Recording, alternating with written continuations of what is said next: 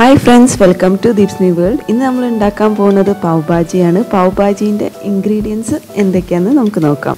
First ഞാൻ രണ്ട് ഉരുളക്കിഴങ്ങാണ് എടുത്തിരിക്കുന്നത്. അത് ഇതേമാതിരി കട്ട് ചെയ്തിട്ട് ഒരു ബൗൾ ഉരുളക്കിഴങ്ങായിട്ട് എടുത്തിട്ടുണ്ട്. പിന്നെ ക്യാപ്സിക്കം ക്യാപ്സിക്കം ഒരു ഗ്രീൻ ക്യാപ്സിക്കാണ് ഞാൻ എടുത്തിരിക്കുന്നത്. ഇതേമാതിരി കട്ട് ചെയ്തിട്ടുണ്ട്. പിന്നെ മിക്സ് വെജിറ്റബിൾ ഇത് ഫ്രോസൺ വെജിറ്റബിൾ വാങ്ങിക്കാൻ കിട്ടും. അപ്പം അങ്ങനെ ഒരു ബൗൾ മിക്സ് വെജിറ്റബിൾ ആണ് എടുത്തിരിക്കുന്നത്. അതിൽ ക്യാരറ്റ് ബീൻസ് കോണും ആണ് ഉള്ളത്. അപ്പോൾ ഞാൻ സെപ്പറേറ്റ് ഒരു കപ്പ് ഒരു കപ്പല്ല sorry half cup green peas ആണ് എടുത്തിരിക്കുന്നത്. ഇത് ഒരു ഫ്രോസൺ വെജിറ്റബിൾ ആണ് ഡീപ് റോസ്റ്റ് ചെയ്തെടുത്തിരിക്കുകയാണ് പിന്നെ ഒരു കപ്പ് കാബേജ്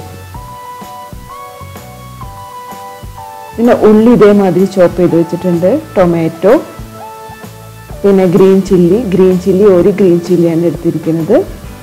പിന്നെ ബട്ടർ ബട്ടർ നമ്മൾ എടുക്കുമ്പോൾ എത്ര ആവശ്യമെന്ന് ഞാനത് കാണിക്കാം. രണ്ട് ടേബിൾ സ്പൂണോളം ബട്ടർ എടുക്കുന്നുണ്ട്. അപ്പോൾ ഫസ്റ്റ് ഞാൻ ഇവിടെ ഇതാ പാൻ ചൂടാക്കിയിട്ട് രണ്ട് ടേബിൾ സ്പൂണ് ബട്ടർ ഇടുന്നുണ്ട്. ബട്ടർ ഒന്ന് മെൽറ്റായി വരുമ്പോൾ നമുക്ക് കട്ട് ചെയ്ത് വെച്ചിട്ടുള്ള വെജിറ്റബിൾസ് ഓരോന്നായിട്ട് ഇട്ട് കൊടുക്കാം. ആദ്യം ഞാൻ പൊട്ടാറ്റോ ആണ് ഇട്ടിരിക്കുന്നത്. പൊട്ടാറ്റോ ഇട്ടതിന് ശേഷം ഒന്ന് ഇളക്കി കൊടുത്തു. കാരണം അതിനൊരു കുറച്ച് വേവ് കൂടുതൽ. കാരണം ജസ്റ്റ് ഒന്ന് ഇളക്കി കൊടുത്തു. അതിന്റെ ശേഷം ടൊമാറ്റോ ഇട്ടു ക്യാപ്സിക്കം ഇട്ടു പിന്നെ ഹാഫ് കപ്പ് ഗ്രീൻ പീസ് ഇട്ടു. പിന്നെ ഇതാ ക്യാബേജ് ഒരു കപ്പ് ക്യാബേജ് കട്ട് ചെയ്തതാണിത്. അപ്പോൾ അത് ഇട്ടു. അതിനുശേഷം നമ്മുടെ മിക്സ് വെജിറ്റബിൾ ക്യാരറ്റ് ബീൻസ് കോണും ഈ മൂന്നെണ്ണമില്ലേ മിക്സ് വെജിറ്റബിൾസ് അത് ഇട്ട് കൊടുത്തു. പിന്നെ എല്ലാതും കൂടിയായിട്ട് ഇതേമാതിരി ഒന്ന് നല്ലപോലെ മിക്സ് ചെയ്യുക. എന്നിട്ട് ഒരു രണ്ട് കപ്പ് വെള്ളം ഇതിലേക്ക് ഒഴിക്കുക. രണ്ട് കപ്പ് വെള്ളം പറഞ്ഞാൽ ഇതൊന്ന് വെജിറ്റബിൾസ് ഒക്കെ ഒന്ന് മുങ്ങി കിടക്കണ വിധം ആണ് രണ്ട് കപ്പ് ഒഴിച്ചത്. ഇനി നമുക്ക് ഇതിലേക്ക് ഉപ്പ് ഉപ്പ് ടേസ്റ്റ് അനുസരിച്ചിട്ട് ആഡ് ചെയ്ത് കൊടുക്കാം. എന്നിട്ട് എല്ലാ വെജിറ്റബിളും ഉപ്പും ഒക്കെ കൂടി മിക്സ് ചെയ്തതിന് ശേഷം നമുക്ക് കുക്കർ അടച്ചു വെച്ചിട്ട് ഒരു വിസിൽ അടിക്കണ വരെ നമുക്കിതൊന്ന് കുക്ക് ചെയ്ത് എടുക്കാം.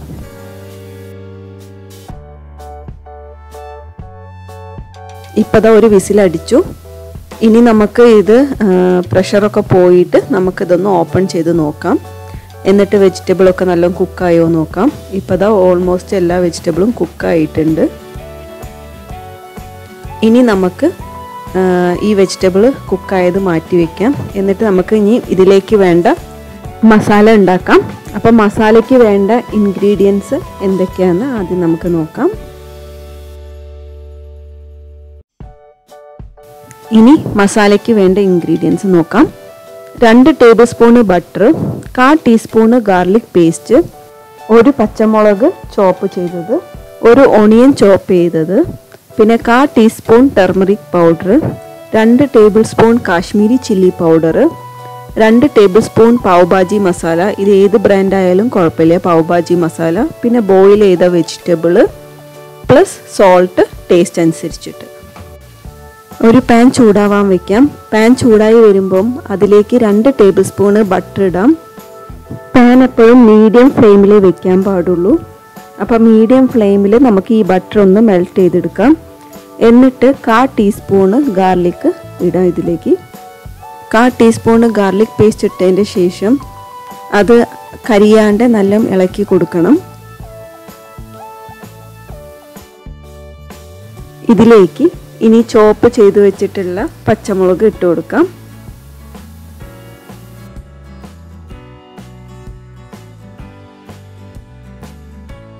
ഇനി ഇതൊന്ന് ഇളക്കി കൊടുത്തിട്ട് നമുക്ക് ചോപ്പ് ചെയ്തിട്ടുള്ള ഉള്ളി ഇട്ട് കൊടുക്കാം. എന്നിട്ട് നമുക്കിത് നല്ല മിക്സ് ചെയ്ത് കൊടുക്കാം. ഈ ഉള്ളി ഒന്ന് ട്രാൻസ്ലൂസന്റ് ആകുമ്പോൾ നമുക്ക് അതിലേക്ക് മഞ്ഞൾപ്പൊടി ഇട്ട് കൊടുക്കാം.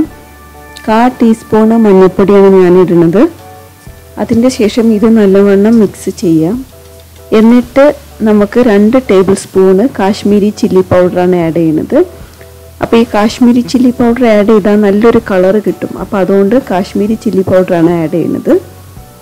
എന്നിട്ട് ഇത് നല്ല മിക്സ് ചെയ്യാം. ഇനി രണ്ട് ടേബിൾ സ്പൂണ് പാവ് മസാലയാണ് ആഡ് ചെയ്യുന്നത്. പാവ് മസാല ഞാൻ റെഡിമെയ്ഡ് പാവ് ഭാജി മസാലയാണ്. ഏത് ബ്രാൻഡ് വേണമെങ്കിലും നിങ്ങൾക്ക് യൂസ് ചെയ്യാം. എന്നിട്ട് നല്ല മിക്സ് ചെയ്യാം. ഇളക്കി യോജിപ്പിക്കാം.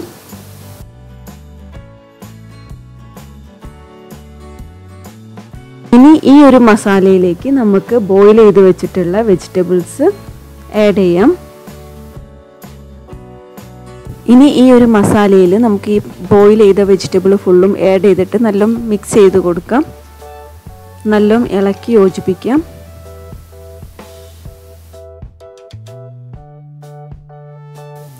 ഇനി ഒരു പൊട്ടറ്റോ മാഷർ വെച്ചിട്ട് നമുക്ക് ഈ വെജിറ്റബിളൊക്കെ ഒന്ന് ഉടച്ചെടുക്കാം. ഈ ഒരു പൊട്ടറ്റോ മാഷർ ഇല്ല വെച്ചാൽ നമുക്കൊരു വലിയൊരു സ്പൂൺ വെച്ചിട്ടും നമുക്ക് ഇത് നല്ല ഉടച്ചെടുക്കാം. ഇത് ഡിപ്പെൻസ് ആണ് ഓരോരുത്തരുടെ ഇഷ്ടം അനുസരിച്ചിട്ട്. ചിലവർക്ക് ഇങ്ങനെ വെജിറ്റബിൾ കടിച്ച് കടിച്ച് കിട്ടാനാണ് ഇഷ്ടം വെച്ചാൽ അധികം മാഷ് ചെയ്യേണ്ട ആവശ്യമില്ല. അതല്ല നല്ല സ്മൂത്തായിട്ടുള്ള ബാജിയാണ് വേണ്ടത് വെച്ചാൽ ഇത് നമുക്ക് നല്ല മാഷ് ചെയ്തിട്ടെടുക്കാം.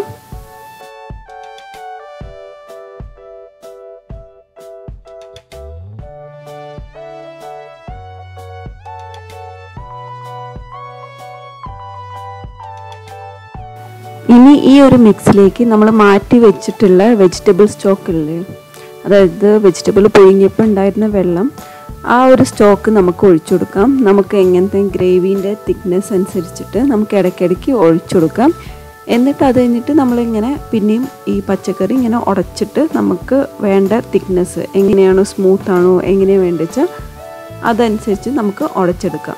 അപ്പോൾ രണ്ട് കപ്പ് വെജിറ്റബിൾ സ്റ്റോക്കാണ് നമുക്ക് വെജിറ്റബിൾ പുഴുങ്ങിയപ്പം കിട്ടിയത്. അത് നമ്മൾ കുറച്ച് കുറച്ചായിട്ട് ഒഴിച്ചു കൊടുക്കാം.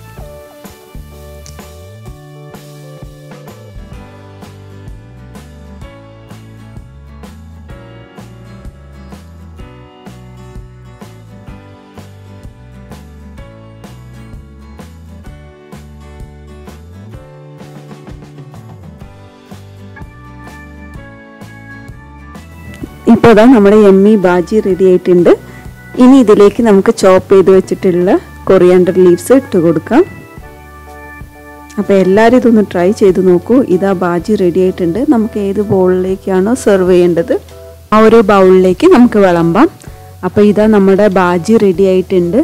ഇനി നമുക്ക് പാവ് എങ്ങനെയാണ് ഷാലോ ഫ്രൈ ചെയ്യുന്നത് എന്ന് ഞാൻ പറഞ്ഞു തരാം കാണിച്ചു തരാം.